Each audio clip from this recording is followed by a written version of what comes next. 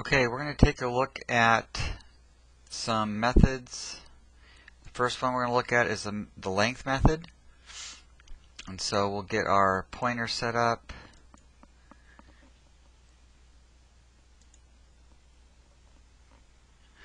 Uh, the length method is one of the string methods that we're going to, going to cover. And the length method returns an int value equal to the number of characters in the string. So characters, as you can see here, the, the questions are here, how many characters are in each of the following strings? Remember, a string is between quotation marks. And so there would be five. One, two, three, four, and five.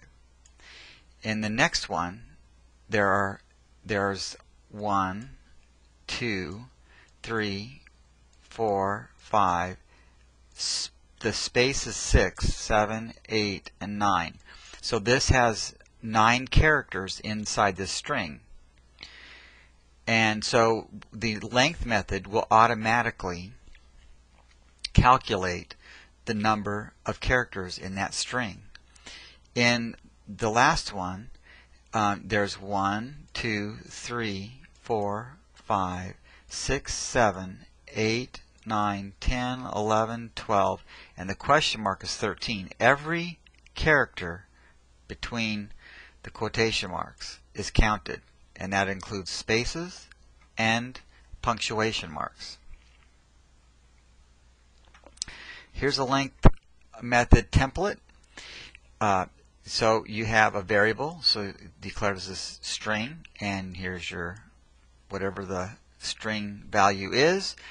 And so when you use the length method, you have the variable first, and then the dot, and then length, and then the empty parentheses. And this will produce um, the number, it will count the number of characters in that variable. So an example is you have a variable called cat. The value is fluffy. So if you type system.out.println cat.length and uh, the parentheses, it will print a 6 because it counts the number of characters in the cat variable so it counts them right here and gets six characters, and that's what it will return is a six. The next slide I'm going to go through um, uses these reminders about print and println. So this is of course is on your handout, and so uh, we need to make sure we know what a, what the print does compared to the println and then the escape character, what that means. So that's important to take a look at that as we go on to the next slide. So in this we're practicing using the length method. So you have these strings here, uh, string cat, dog variable, brother variable, and right now what we can do, because we're going to be seeing what the length method does, we're going to count the characters. So you have princess, you have P, 1, 2, 3, 4, 5, 6, 7, 8. So there's 8 characters in here. And then Rover has 5. And then Jonathan, if we count that including the spaces, it is 13. So this num1 is assigned dog.length. It's assigned a value because the length method returns a value, a number. And dog, the length of the dog variable is 5. So the vari the va value of num1 is 5.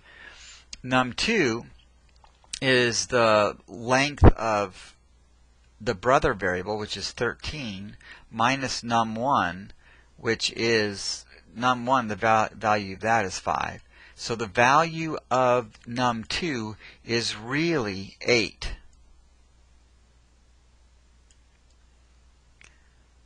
So num2 in its memory location has an 8, num1 has a 5. So we're going to start printing now. We print 1, num1, and the value of 1, num1 is 5, so it's going to print a 5. Now actually what we need to do is we've got to pretend we have a screen. And that's not going to work either. We'll start here. So 5.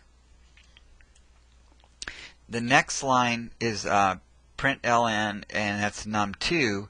And num2 is the value said was 8. So right on the next line, straight down below the 5 is 8. So we've done this and this. The next line down says cat.length. Well, the value of, or the number of characters in the cat variable is 8. And um, plus the, the value of num1 is 5.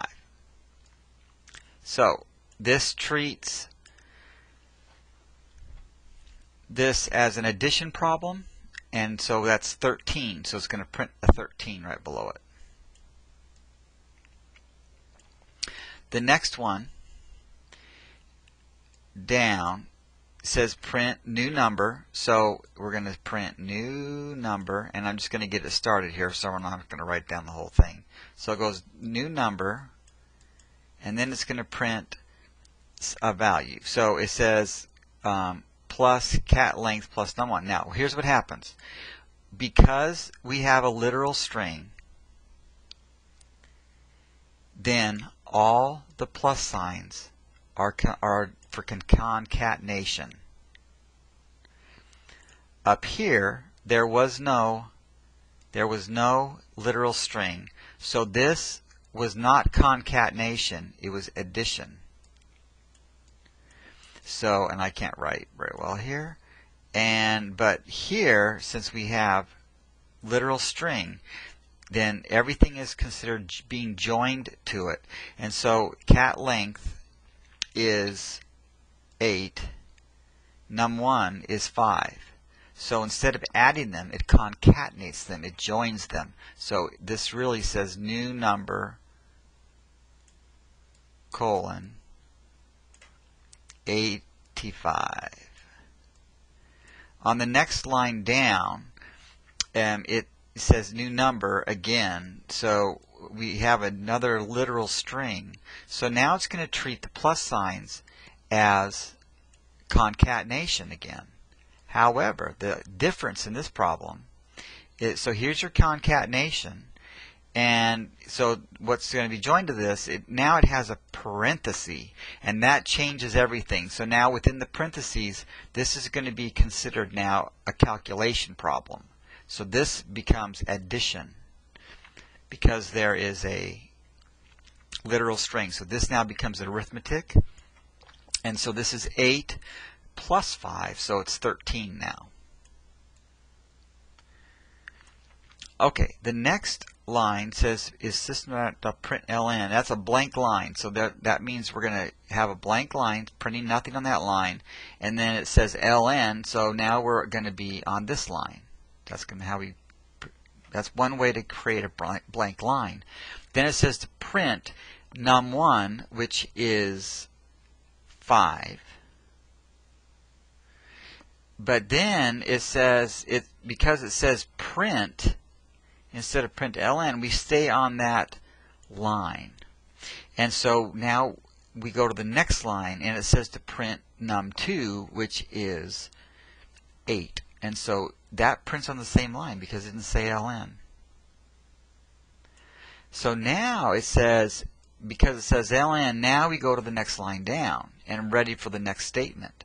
But in the next statement, you have an escape character, and this here it means to press enter or go to the next line down.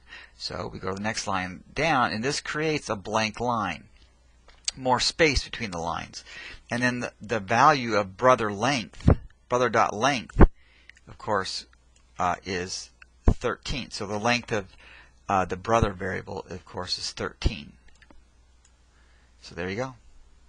So that is what this should look like. Alright, let's go to the next thing, and I believe that's it. We'll stop with that.